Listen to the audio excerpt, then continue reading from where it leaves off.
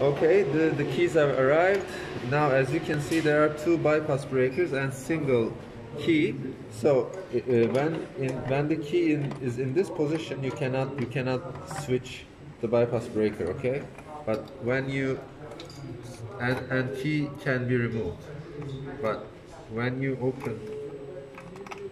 Yes. Now you can you can switch it, and the key won't be removed from here.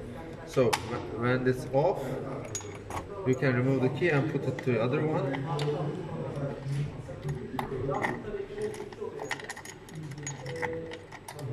And this way, you can also open this one.